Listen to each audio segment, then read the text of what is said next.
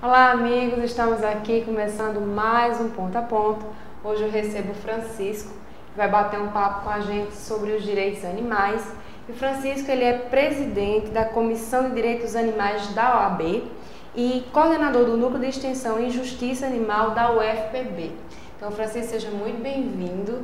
É, essa questão dos animais a gente discute pouco, né? Principalmente aqui no meu espírito, a gente entende pouco, né? Isso. A nossa responsabilidade com os nossos amiguinhos que tanto nos ajudam. Então, muito bem-vindo para tratar desse assunto que é necessário ser discutido. Certo, Jane. Eu agradeço bastante a oportunidade de aqui estar para falarmos um pouco sobre os animais que, que precisam de um olhar diferente de nós humanos para eles. Francisco, para a gente começar, queria que você me passasse uma visão de em que patamar está o direito animal a nível mundial. Certo. Então, é, Giane, em nível mundial, o direito animal se apresenta é, em alta evolução. Em que aspecto evolutivo ele se encontra? Alguns ordenamentos jurídicos vêm sendo alterados para retirar a coisificação deles, animais, de seus textos e declarar, deixar expresso que eles são seres vivos, são seres sencientes. Assim, a França, em janeiro de 2015, Portugal, há bem pouco tempo, Suíça, é, Alemanha e Espanha, agora no dia 12 de dezembro de 2017, deu um excelente pontapé na iniciativa de alterar os seus códigos para estabelecer que os animais não são coisas, são sim seres sencientes.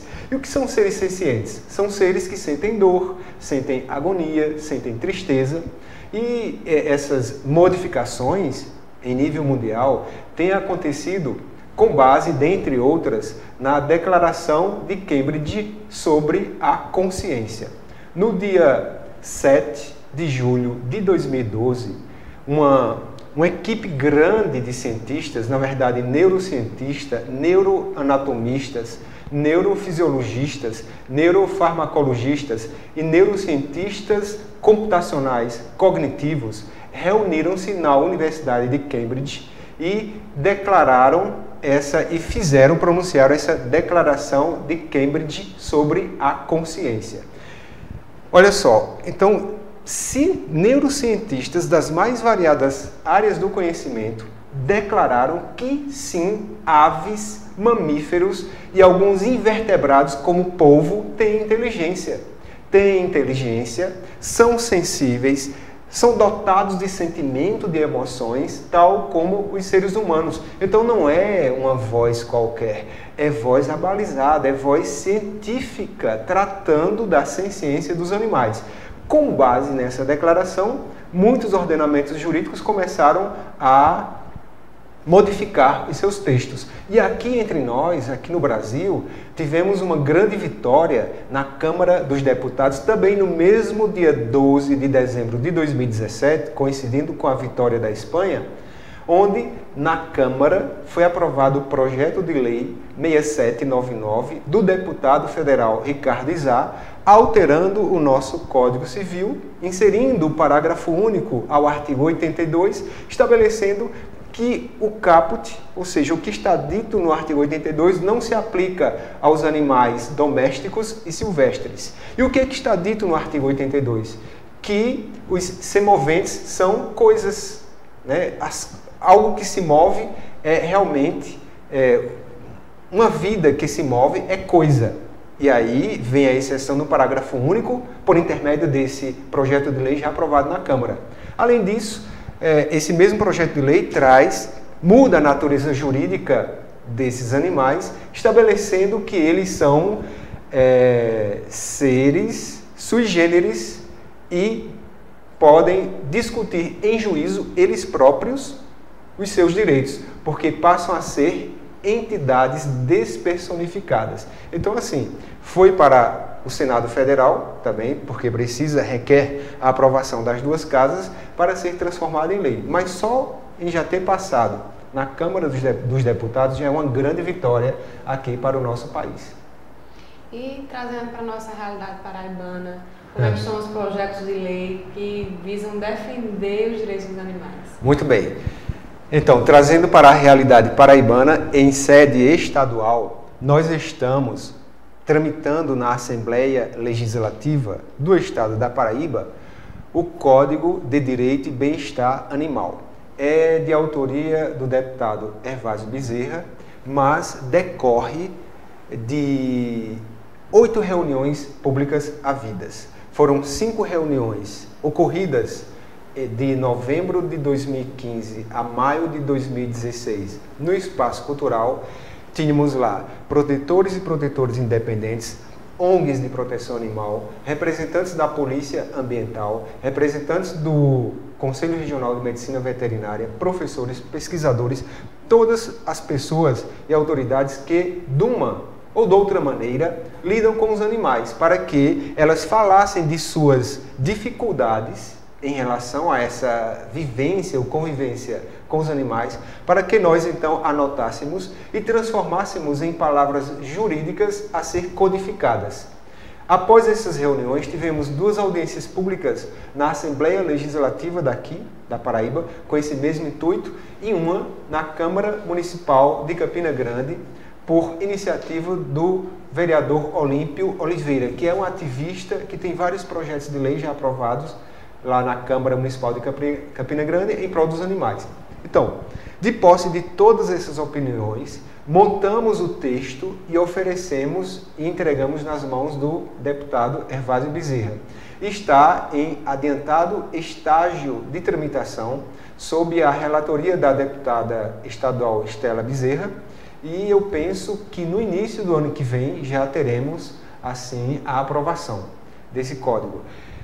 É um código que vai valer em todo o estado da Paraíba e que dá um amparo, um forte amparo jurídico aos animais, tendo em vista as matérias ali tratadas.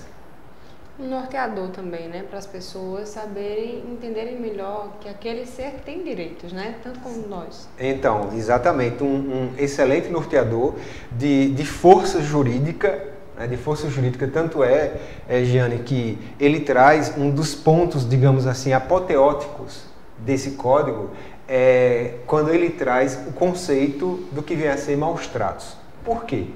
Porque nós temos já uma lei federal, a Lei 9.605 de 98, que estabelece os crimes ambientais. E no artigo 32 dessa lei dos crimes ambientais, vem a tipificação como sendo crime do que vem a ser maus tratos. Mas só diz que maus tratos é crime, mas não minudencia, não detalha, não conceitua o que é, o que vem a ser maltratar um animal. E aí entra esse nosso código com um papel enorme, porque traz em 47 incisos o conceito do que vem a ser maus tratos. Foram todas situações retiradas dessas falas ocorridas durante essas oito audiências, como por exemplo, é, praticar ato zoófilo com animais, né, zoofilia com animais, é, abandonar animais, bater animais, chicotear, deixar preso sem água, sem comida, debaixo de sol, debaixo de chuva, é, deixar em um mesmo ambiente animais que não se dão, que brigam, que se digladiam, enfim, todas essas são manifestações caracterizadoras do que vem a ser maus tratos. Então a autoridade, de agora em diante, a autoridade policial, a autoridade ambiental, de agora em diante, quando for chamada é, para atender a uma ocorrência, vai chegar lá e ver, ora, o animal está preso, o animal está sem comida, está sem água, está debaixo de sol de chuva.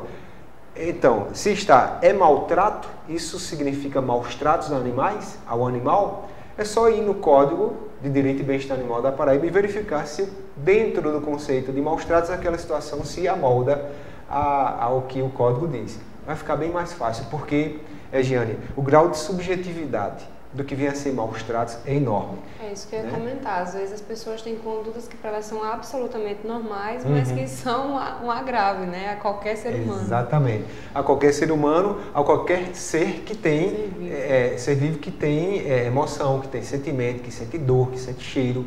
É, porque os animais, tal como nós, eles adoecem de diabetes, de câncer, de depressão, têm medo, ficam assustados. Quando, durante agora o final do ano, que vamos ter vários queima de, fogos. É, queima de fogos, aqueles estampidos, aquelas explosões deixam os animais extremamente amedrontados e não só os animais, como também as crianças, os idosos, né, as pessoas que estão nos hospitais, escutando aquilo assim, elas ficam trêmulas, elas é, se amedrontam. Então, é, tanto é, esses estampidos fazem tanto mal que algumas cidades já vêm proibindo os estampidos em fogos de artifício. Os fogos continuam sendo possível, mostrando a sua beleza, mas não pipoca, como por exemplo em Santos, como por exemplo na Itália. Em todo o país não tem mais fogos de artifício com estampido, já por conta de animais, de crianças e de idosos.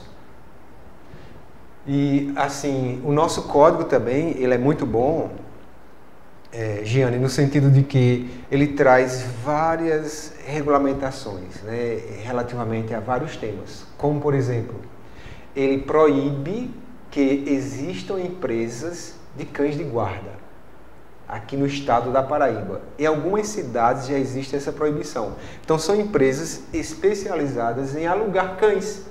Os cães são alugados, imaginem, é uma, uma vida tal como era no tempo da escravidão, né? Nós nem alugávamos, nós comprávamos uma mãe, comprávamos um filho, um pai, uma família inteira.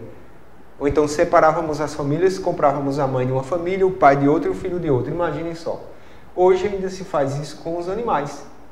Assim, é, os animais que, que, que já desenvolvem cientificamente falando, sentimentos, emoções. Pois bem, esses cães, eles são, eles são alugados a empresas de construção civil, geralmente, de armazéns, para, durante os fins de semana ou em feriados prolongados, ficarem lá vigiando, isolados. É um sofrimento grande desses animais. Tanto é que é, eu moro em Manaíra, em um prédio, e alugaram um cão desse, e realmente, de sábado para o domingo, foi geral a reclamação no prédio desse cachorro que latia, que latia, que assim, é, é, chorando a noite toda.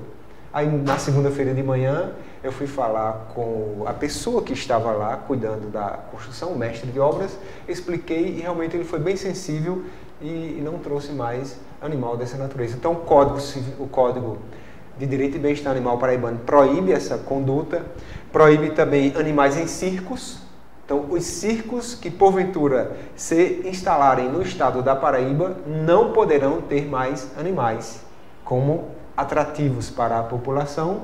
Ela, esse código também regulamenta a eutanásia, dizendo os casos de eutanásia possível e determinando que pelo menos dois laudos médicos de médicos veterinários devem ser assinados é, sugerindo ou adotando a eutanásia como possibilidade, proíbe a eutanásia como meio de controle populacional.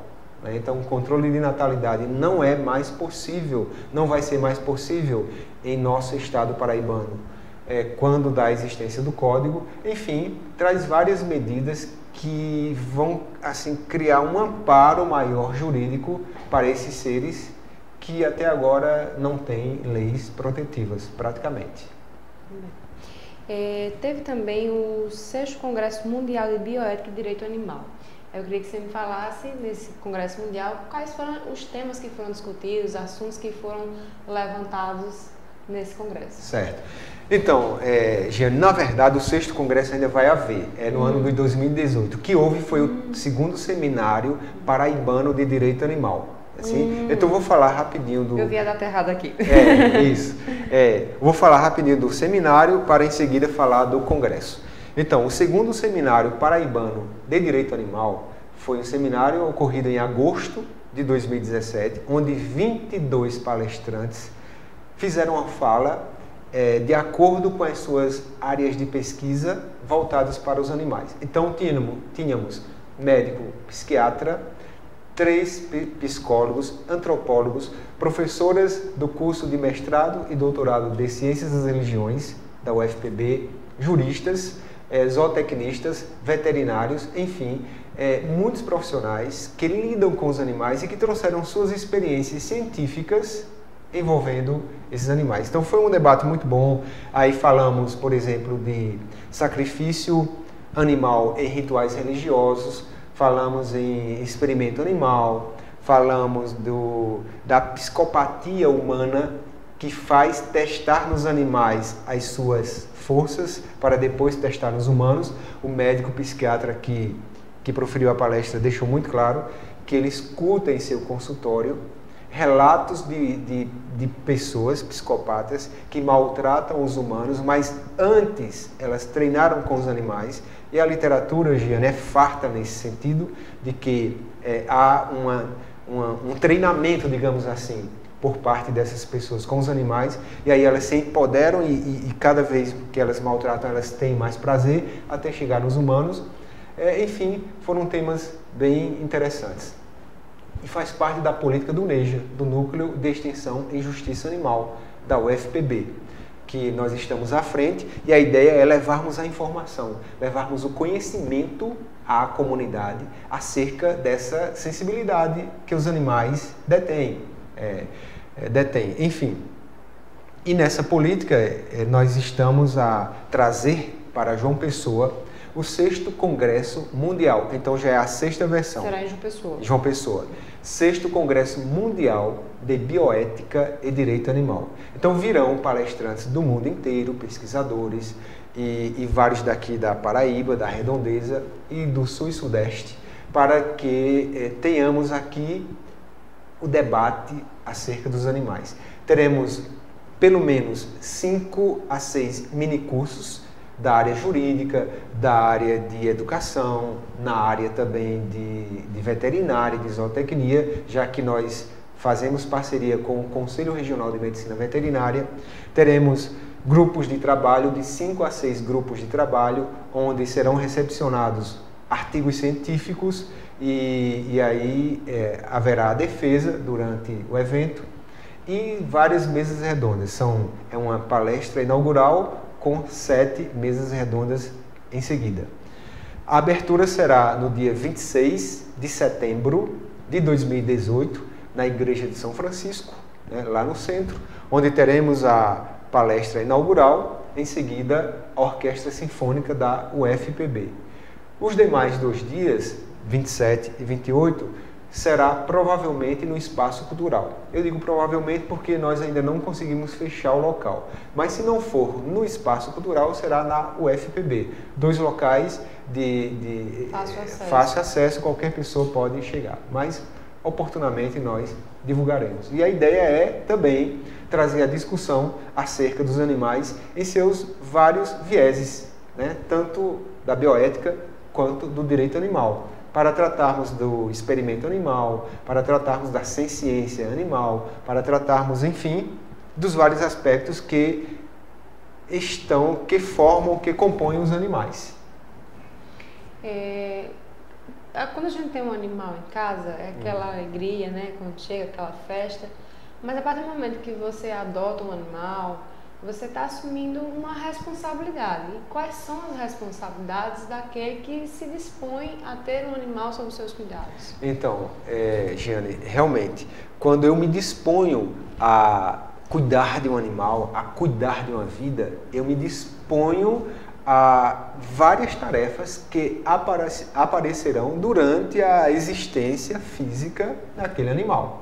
Então, eu me disponho a colocar comida todos os dias, a colocar água todos os dias, a levar esse animal a um médico veterinário quando ele adoecer, a não maltratar esse animal, a não deixá-lo isolado, a não abandoná-lo, a quando eu for viajar deixar alguém cuidando dele, se não for possível levar, enfim.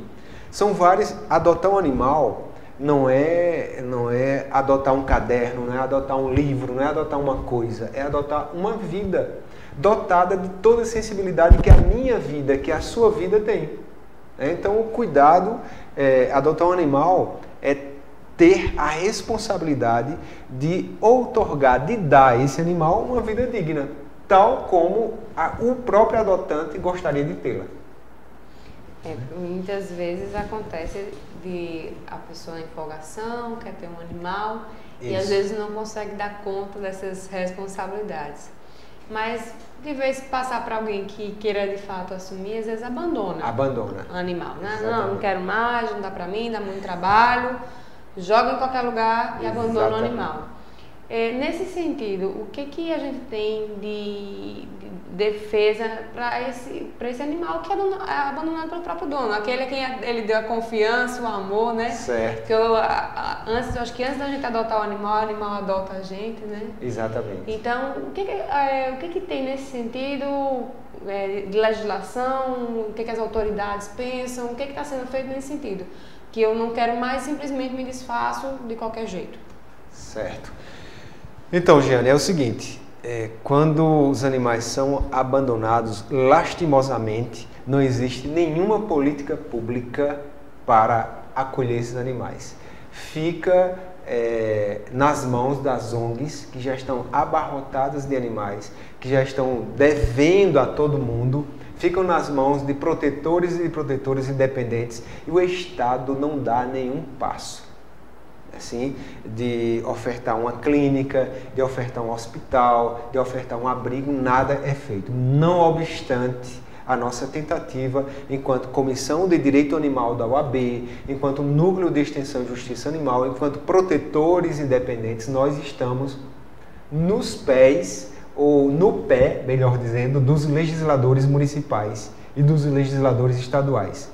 Nesse sentido, nós temos levado é, as câmaras municipais circunvizinhas e aqui em João Pessoa, é, a exemplo da circunvizinhas, a exemplo da Câmara de Santa Rita, é, de Bahia, de Conde, dentre outras, projetos de lei, minutas de projetos de lei, para que o vereador, a gente conversa com cada um deles, ou tem buscado conversar, os vereadores sensibilizem-se com a situação dos animais e adotem um ou todos os projetos e leve à deliberação da casa. Esses projetos falam, por exemplo, é, é, é um, um dos projetos que é o mais é, audacioso e é o melhor, melhor no sentido que de, do que é aquele que é aquele que vai buscar dar uma vida melhor para os animais imediatamente. Ele, esse projeto, ele possibilita, ele autoriza os prefeitos municipais a firmar convênios com clínicas locais, com clínicas do próprio município. Por intermédio de uma licitação própria, é, a prefeitura irá conveniar clínicas para atendimento de animais errantes, que são animais de rua, de ONGs que cuidam de animais, de protetores independentes que cuidam de animais e de pessoas que cuidam de animais que são de baixa renda. É, nós, nesse projeto, já ofertamos, inclusive, anexada ao, ao projeto, a minuta do edital de licitação. Então, é só a casa aprovar e o prefeito ter boa vontade de implementar a política, porque já, a gente já entrega tudo mastigado, basta agora a vontade política. Também existe nesse projeto, existe um que proíbe fogos de artifício com estampido, com pipoco no final.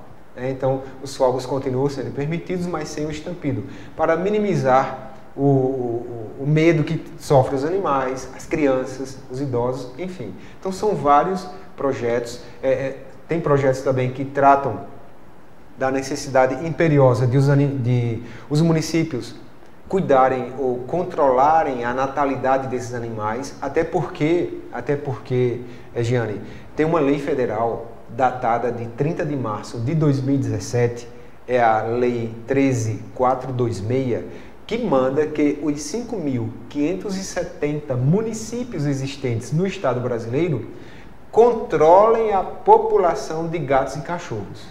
É assim, esse, esse, essa lei ela é tão avançada que ela manda que todas as escolas, que todos os municípios, melhor dizendo, crie políticas públicas de sensibilização da população acerca dos animais, acerca de uma adoção responsável, acerca da ética animal. Então é uma lei bem avançada que nós embasamos esses projetos que apresentamos nesta lei, dentre outras, a exemplo da Constituição Federal e da Constituição Paraibana, que também traz em dados momentos algo sobre os animais.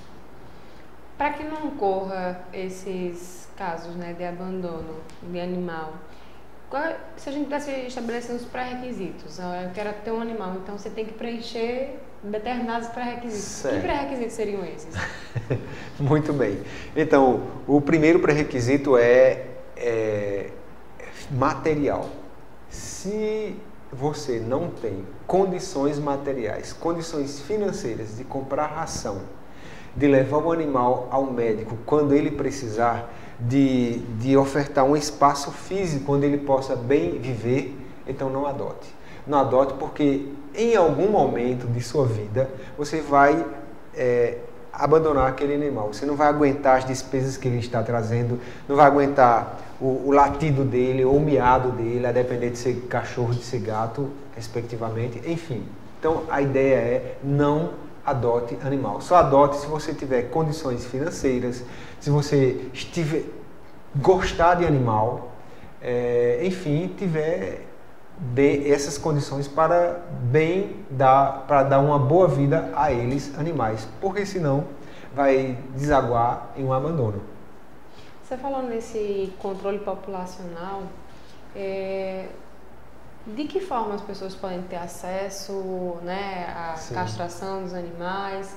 É, qual o cuidado que tem que se ter nesse sentido, né? Porque senão, se a gente deixar sem controle nenhum, imagina, vai ficar um, mais animais ainda abandonados e sujeitos à própria sorte, né? Exatamente.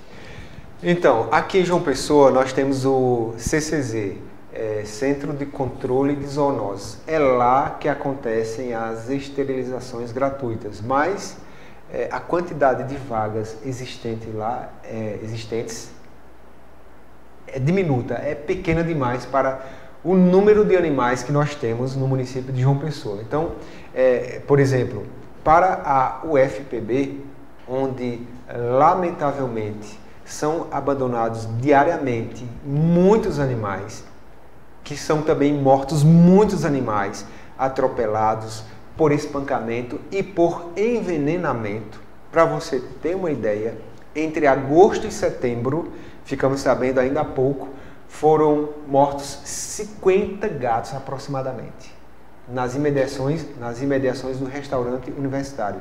Eles apareceram mortos assim dentro da mata. Aproximadamente 50 ou mais gatos. Então, os animais são mortos, mas assim, todos os dias. Agora, durante esse feriado de Natal, que 25 ainda é feriado, no dia 26, quando a gente chega lá, porque nós sempre estamos lá, que nós temos uma comissão de direito e bem-estar animal também dentro da UFPB, que busca cuidar desses animais, nós encontraremos caixas e caixas de animais abandonados. Porque a população, é, para que não tem nenhuma responsabilidade né, que, ou que imagina que colocando lá na UFPB eles vão estar em boas condições, abandonam esses animais. E assim, eles são mortos por cachorros também, mas em sua grande maioria pela perversidade do próprio ser humano. Então, o CCZ, para você ter ideia, o CCZ só pode disponibilizar em média 8 a 10 vagas mensais para a UFPB para a UFPB. Pouquíssimo. E só dentro da UFPB. Agora imagine é, para João Pessoa, que tem quase um milhão de habitantes e provavelmente é, mais de 100 mil animais né, de rua. Gente, é porque nós nem temos nem ideia de quantos animais nós temos nas ruas de João Pessoa, porque só dentro da UFPB nós estimamos de 300 a 400 animais que estão lá, domésticos, entre gatos e cachorros. Imagine Campus 1, Campus 1, imagine que é o que fica no Castelo Branco. Imagine na, na, na, grande, na grande não, no município de João Pessoa. Devem ser vários animais. Então, o CCZ não tem é, vaga suficiente e nós estamos, por intermédio desses projetos que são apresentados às câmaras municipais, buscando ampliar a possibilidade de controle populacional por intermédio de políticas públicas adequadas é, para esterilização de animais. Só fugindo um pouquinho da nossa voz, falando nesse assunto, eu, eu, eu, digo porque lá em casa a gente tem um, um problema, que são os pombos, né? Sim. E a gente não tem simplesmente o que fazer, a gente vai convivendo com eles. Apartamento se mora. É, no apartamento e o telhado da gente só tem pombos, né? E a gente uma vez procurou o centro de zoonose e disse, não, não tem o que fazer. Eu digo, mas não tem nenhum procedimento que possa ser feito, porque na realidade a cidade não é a morada ideal para os pombos, né? Não é. Existe um, contro- um- um descontrole ambiental aí que faça com que eles invadam a, a área urbana na procura de alimentos. Nesse sentido de, desses animais, né, que estão vindo para um meio que não é seu e ali se proliferando e podendo trazer doenças que a gente sabe que, que tem esse risco, é, qual, qual a política pública, qual- o que, que deve ser feito nesse sentido também? Então, os governantes deveriam fazer políticas públicas de, por exemplo, em relação aos pombos. Existe já no mercado, né, à venda, um produto que espanta os pombos. Existe o que mata, que envenena, que não é aconselhável de jeito nenhum. E existe aquele que, aqueles que espantam. Incomoda eles, eles... É, incomoda, eles vão embora. E assim, aliado a isso, deveria haver também uma campanha educativa, porque, Eugênio, eu penso que, eu penso não, eu tenho convicção de que a educação é o caminho para tudo. Então, uma campanha educativa mostrando que alimentar pombos só vai trazer, trazer mais, que se não alimentar os pombos como eles voam, eles vão buscar comida em outras áreas, assim é bem mais fácil de que não colocar comida para um gato, não colocar comida para um cachorro, mas os pombos eles eles, eles vão vão em Vão busca migrar. vão migrar para outro, outras localidades, enfim. é, então são essas políticas educativas que as autoridades municipais não buscam ter. Deveria ter essas políticas, deveriam ter, é, é, ser veiculadas em rádios, em jornais, em TVs, enfim. É, e qual foi o outro animal que você falou? Não, eu falei do pombo mesmo, que, É. que era o, o que eu realmente convivo, né? Certo. Lá em casa a gente ainda tentou fazer alguns ajustes, colocando telas e algumas áreas que serviam de abrigo para eles, mas mesmo assim eles estão dando um jeitinho de continuar por lá. Sim. Mas não, não tá resolvendo. E aí eu vi, justamente como você falando do controle, eu digo, não é só dos cães e dos gatos, né? Tem uma, uma outra gama de animais que por um- uma invasão nossa no território Nossa, deles, isso. eles estão vindo para o nosso território. E aí tá tendo esse descontrole. Porque na realidade eles vêm na, à procura de comida mesmo, de Sim, abrigo. Exatamente. Como, por exemplo, esse descontrole ambiental é tamanho, é, Giane, que os insetos, né, o mosquito palha, é, o mosquito que, que promove a dengue, a zika, a chikungunya, é, tem invadido as cidades porque nós desmatamos. O habitat natural deles não existe mais. Então, para onde eles vêm? Para a cidade. Por isso, essa quantidade de doenças envolvendo a zika, a chikungunya e a dengue. Porque os mosquitos migraram da mata que deixou de existir para a cidade. Na realidade, acho que falta uma educação né, de nós humanos a entender que os animais existem, Uhum. estão convivendo conosco e aí cada um tem que ter seu espaço respeitado, né? Porque a Exatamente. gente vive como se os, os animais não existissem, só se fôssemos só nós por conta de tudo, né? Exatamente assim. Lamentavelmente, é essa consciência que nós temos que prepondera atualmente. É, nós, assim, na escala, na escala evolutiva, nós estamos no topo. Por que nós estamos no topo? Porque fomos nós que criamos aquela escala. Né? Então eu digo, olha, eu vou me colocar aqui no topo como sendo o maioral dentre todos os seres vivos e eu estou aqui no topo para dominar todos os demais. Todos os demais estão sob o meu domínio, eu posso escravizá-los, eu posso fazer deles o que eu, humano, quiser. Mas quem foi que disse? Fui eu, eu, humano, que disse. Será que uma vaca diria isso? Será que um leão agiria assim? Será que, né? Enfim. Então, assim, é, é todo o raciocínio da legislação, todo o raciocínio de nosso dia a dia em relação aos animais foi criado por nós próprios. Então, é, é um raciocínio antropocêntrico, voltado somente para o centro da pessoa, como se só nós existíssemos, se só nós tivéssemos direitos aqui no planeta Terra. Quando nós sabemos que as águas têm direito, que as plantas têm direito, que os animais têm direito, os animais não humanos, porque todos advêm de uma mesma origem, todos são plantados aqui na Terra pelo Pai, pelo poder superior, por Deus. Então, assim, é, nós até discutimos, Jane, é, o seguinte, que para o universo, e em especial para o planeta Terra, não existe grau de importância maior ou menor entre os humanos, as plantas e os animais, porque cada um tem sua razão de ser, tem sua função aqui na Terra. Então não existe essa, essa graduação, é uma invenção humana, é uma invenção de domínio e é uma invenção capitalista, como nós sabemos. Para que eu é, domine o boi, para que eu escravize o boi, para que eu me divirta com o boi na vaquejada, no rodeio, para que eu coma o boi, enfim. É tudo isso invenção humana. É, aquela, a gente se julga, se julga mais importante do que eles, mas a gente precisa deles. Né? Pois é, precisa. Para alimentação, para o trabalho, para a gente sempre está precisando dos animais de então, alguma forma.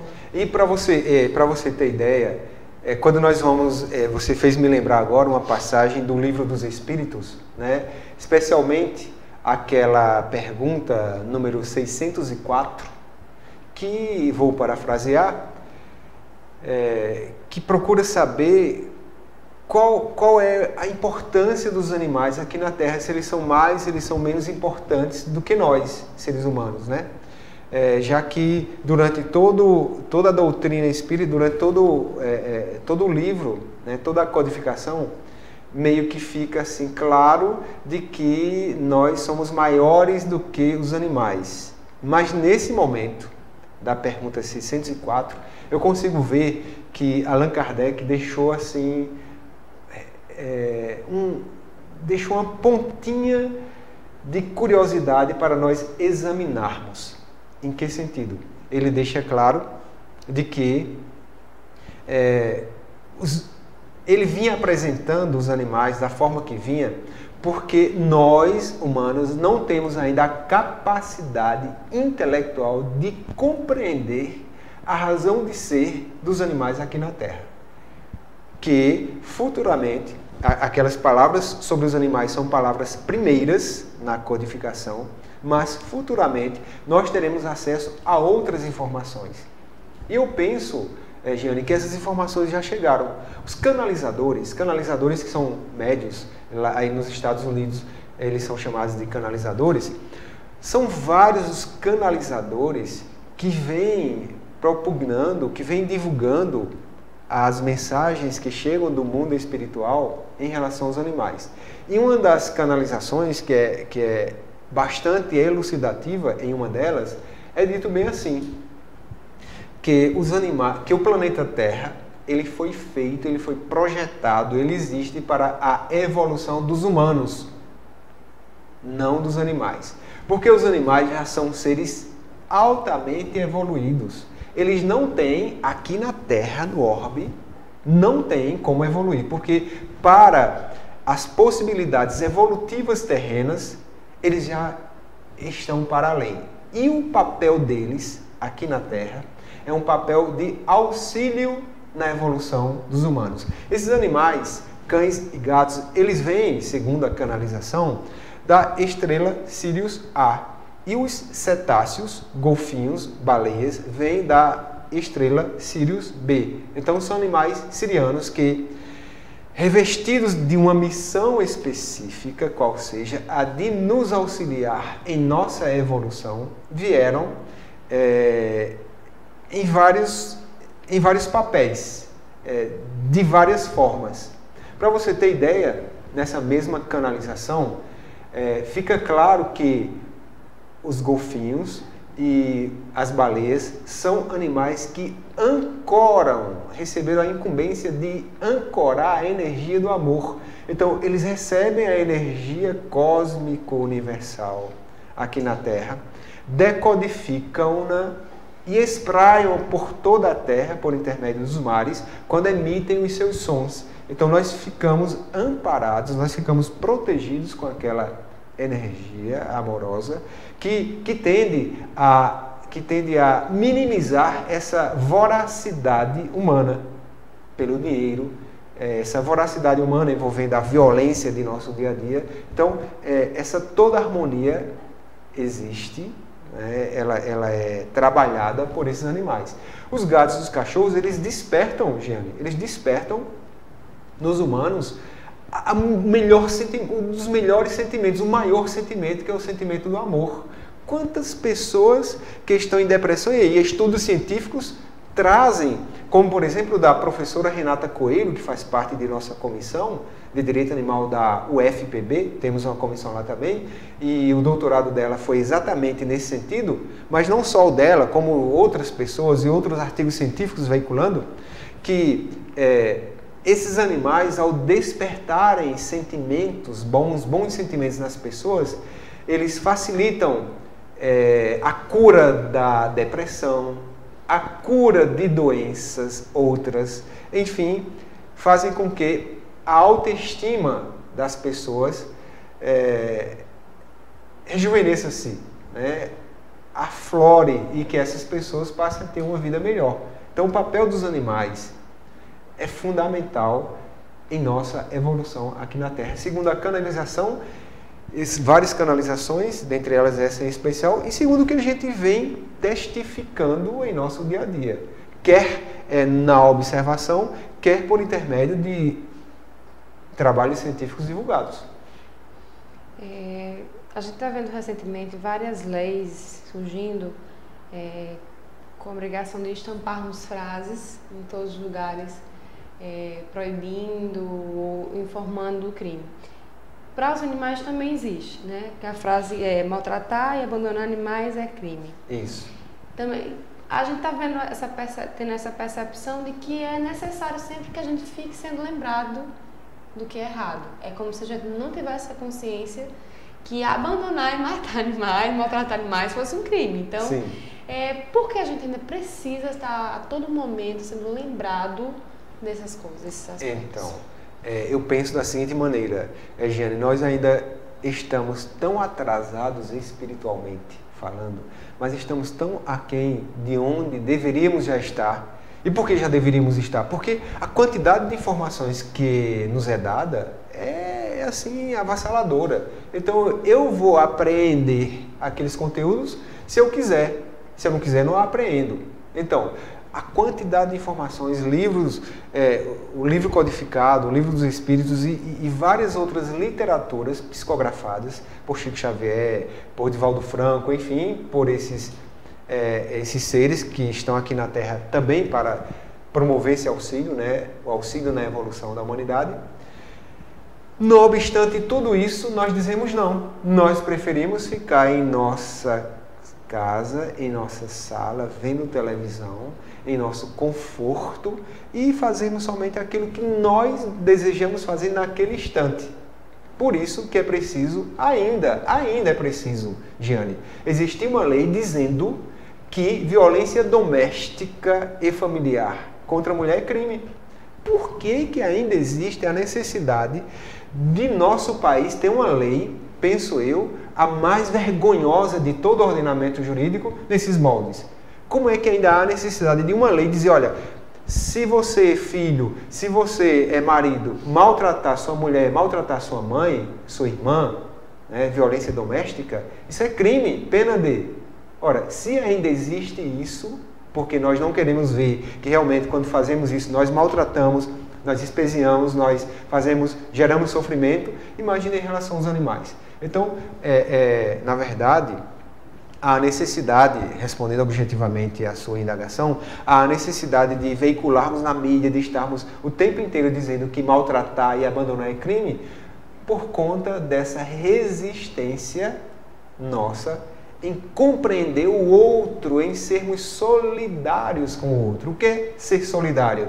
É eu me pôr no lugar do outro. Quando eu me ponho no lugar do outro, quando eu me ponho em seu lugar, jamais levantarei a mão para bater em seu rosto. Porque eu sei que na hora que eu fizer isso, eu vou estar maltratando, eu vou estar promovendo, provocando dor em você. Então, à medida, penso eu, à medida que nós vamos evoluindo espiritualmente, nós vamos enxergando no outro, nós próprios, e aí é, algumas dessas insistentes legislações vão deixando de existir porque não, há, não tem mais necessidade de suas existências. Mas enquanto não, nós ainda necessitamos dessa repetição, repetição, repetição, até ver se nós internalizamos. Vamos a outra questão que também é um probleminha. Como transportar animais, né? Uhum. Porque às vezes a gente acha lindo os animais na janela dos carros, aquela coisinha fofa, mas Sim. isso também eu, eu sei que isso é prejudicial para a saúde de alguns animais, podem ter até problemas no ouvido e tal, carro do vento.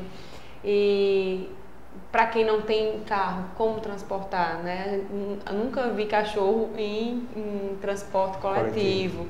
Então é um, é uma, um certo problema para quem tem animal se locomover em Sim. maiores distâncias com, com, da maneira adequada. Né? Então, é, dentre esses projetos de lei que eu te falei ainda há pouco, que nós deixamos nas câmaras legislativas, um regulamenta essa situação. É transporte de animais em ônibus coletivos, né? porque aí, nessa situação, o animal vai ter que andar, é, a pessoa que anda com o animal vai ter que andar com a carteirinha de vacinação em dia, ele vai ter que estar acondicionado em, um, em caixas, em, em caixas né, que permitam que ele dê um, um círculo dentro da caixa, por exemplo, enfim.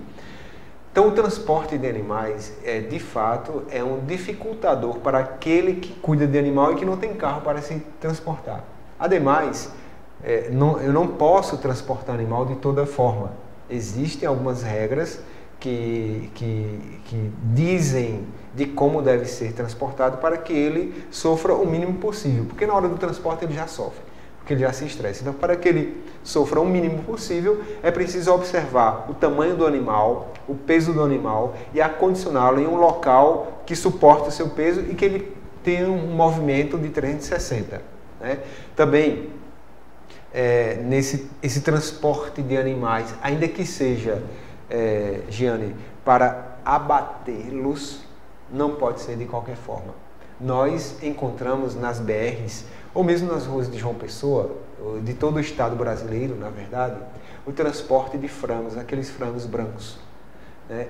Cada caixinha daquela tem pelo menos 10 animais ali dentro. Imagine aquele animal naquele caminhão daquele tamanho, aquela caixinha com 10 animais que está bem ali embaixo no centro. Eles já estão mortos. E, e é uma carne que a pessoa vai comer. Então imagina a tensão e o sofrimento desse animal para morrer. E você vai engolir tudo aquilo. Então até esse transporte deve ser, deve ser é, direcionado, deve ser visto para que seja mais digno para os animais. E transporte de, de, de animais de grande porte, como cavalos, como bois, também deve ter uma regulamentação própria. Nós não temos. Quer dizer, temos algumas leis federais que falam é, do, do que é preciso para que o animal se transporte, das vacinações necessárias, mas o transporte em si não. Então ainda está em, em passos lentos essa regulamentação. Nós estamos aqui em João Pessoa e em alguns municípios a ofertar projetos que regulamentam o transporte de cães e de gatos. Desses de aves e de animais de grande porte, ainda não. Vou viajar, quero levar meu cachorro comigo. Sim. E aí, como é que eu faço? e aí depende, você vai viajar de ônibus ou você vai viajar de avião, né? Ou você vai viajar de carro. É, ou de carro próprio, ou de avião, ou de ônibus, você tem que estar com a vacinação em dia. Essa vacinação envolve pelo menos, pelo menos a raiva.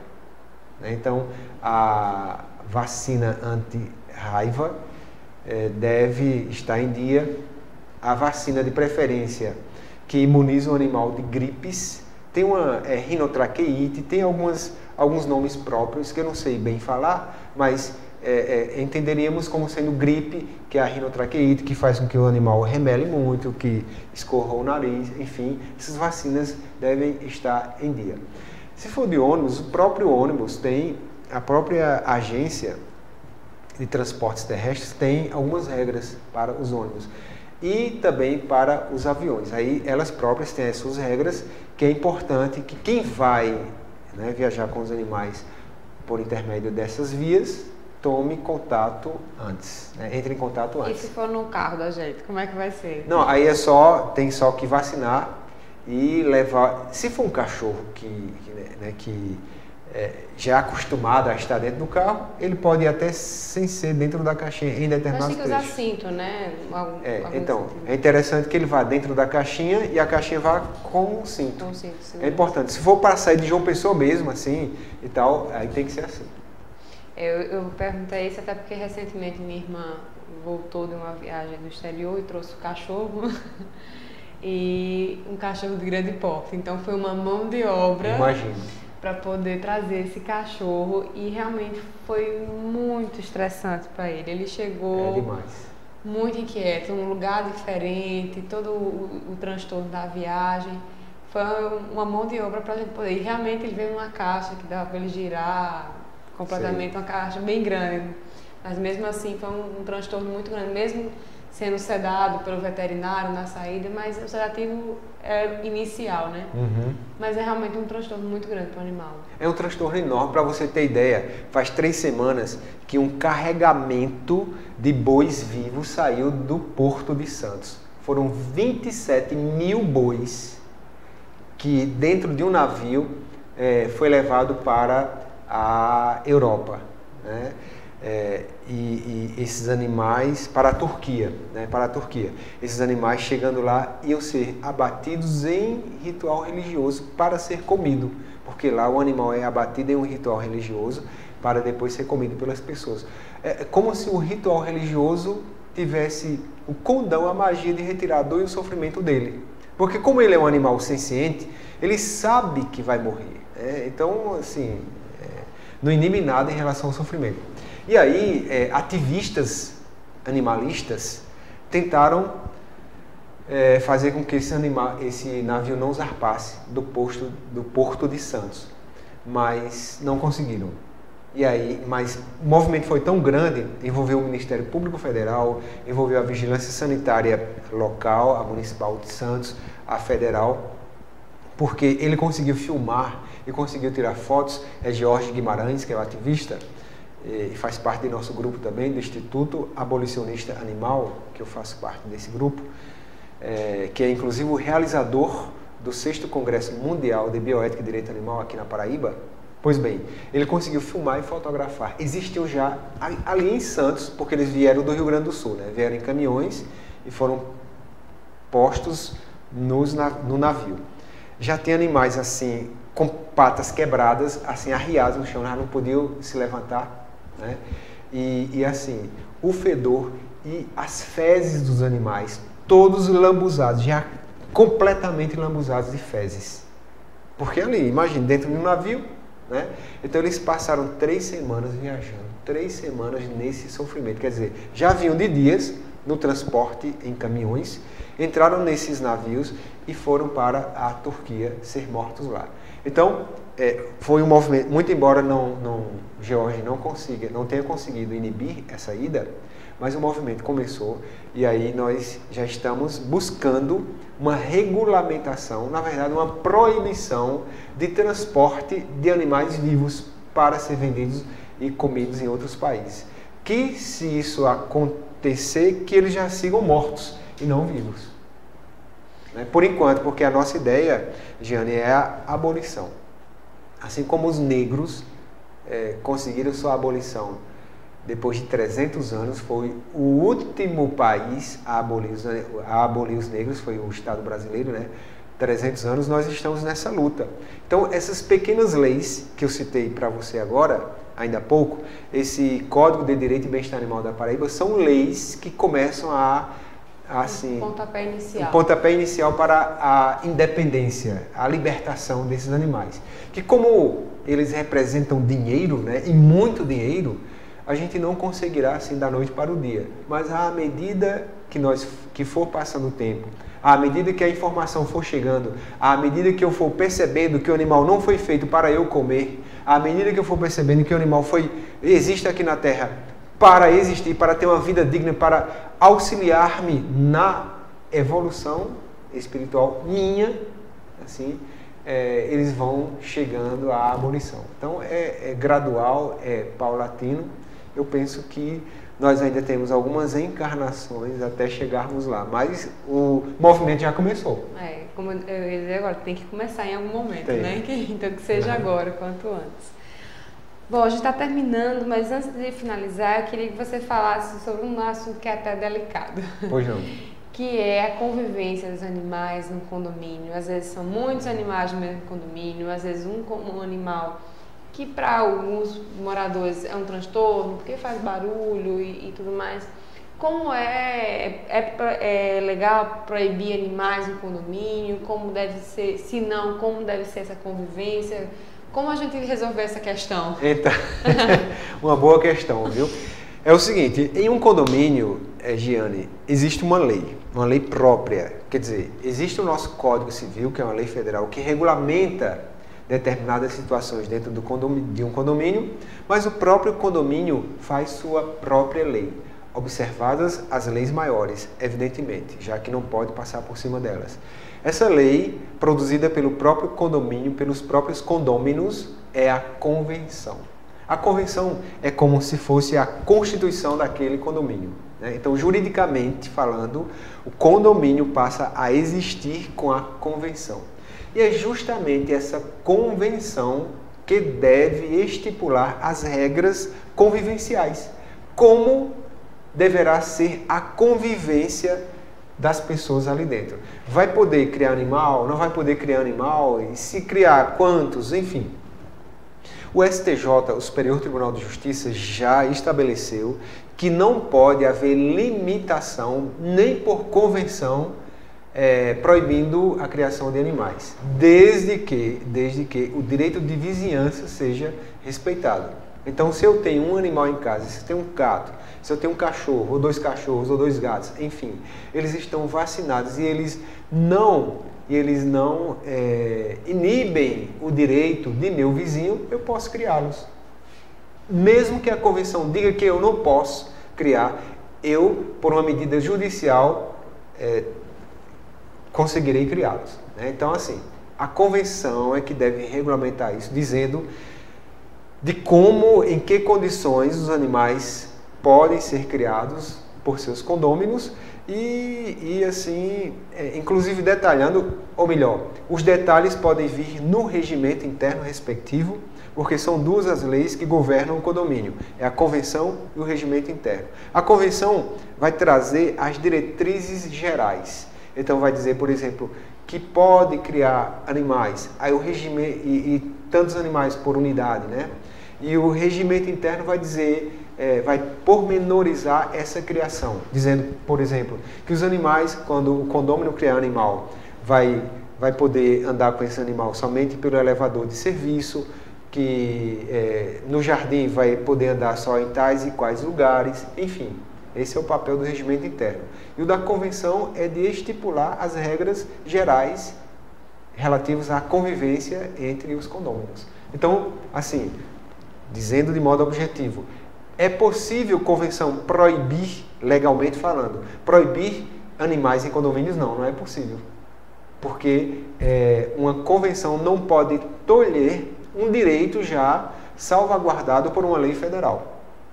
Né? Agora, ela pode sim regulamentar.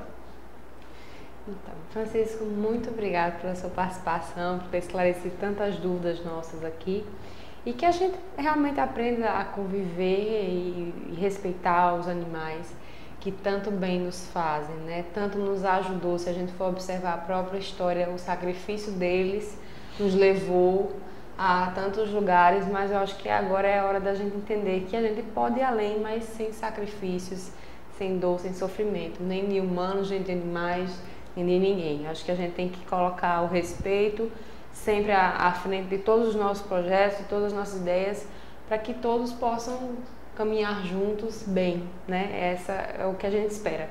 Então, num planeta que está em transição, Sim. então a gente tem que começar a mudar velhos hábitos e dar o pontapé inicial com um, novas leis, com novos projetos, novas atitudes sociais para que a gente possa realmente ter um bem-estar de todos. Isso é mesmo.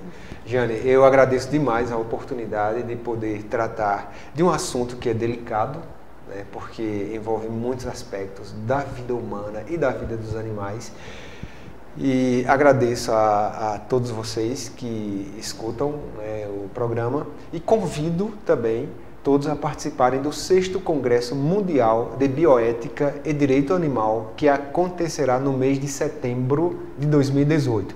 Certamente nas redes sociais, é, nas televisões, nos rádios e, e, nos Facebooks e no WhatsApp, enfim, é, veicularemos oportunamente as regras de feitura de artigos científicos, as regras de participação no seminário, mas desde já convido todos e todas a participarem dessa discussão que é urgente, que é premente e que é uma realidade. Precisamos discutir sobre os animais para que percebamos de uma vez por todas que a Terra é local de animais humanos e de animais não humanos e que podem e devem viver harmonicamente. Muito obrigada pela sua participação, muito obrigada a todos vocês que nos acompanharam e a gente se encontra para mais um Ponto a Ponto, sábado que vem, às 16 horas, horário local. Grande abraço e até lá!